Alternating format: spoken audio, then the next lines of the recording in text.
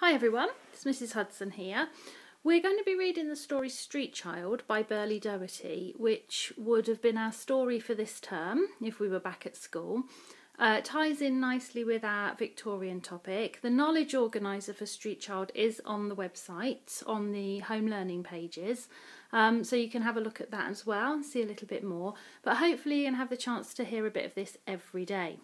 So, we're going to start off by reading the start, which is called Tell Me Your Story, Jim.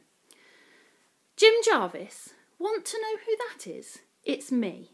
That's my name. Only thing I've got is my name. And I've give it away to this man, Barney his name is, or something like that. He told me once, only I forget it, see, and I don't like to ask him again. Mister, I call him, to his face that is, but there's a little space in my head where his name is Barney. He keeps asking me things. He wants to know my story. That's what he tells me. My story, mister? What do you want to know that for? Ain't much of a story, mine ain't. And he looks at me, all quiet. It is, Jim, he says. It's a very special story. It changed my life, child, meeting you. Funny that, ain't it? Because he changed my life, Barney did. I can't believe my luck, and that's a fact. Here I am, with food in my belly, and good hot food at that, and plenty more where that came from, he says. I'm wearing clothes that smell nice, and that don't have no holes in neither.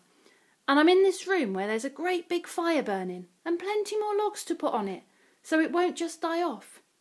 There's just me and him. The other boys are upstairs in their hammocks, all cosy in the big room we sleep in and downstairs there's just me and him, special.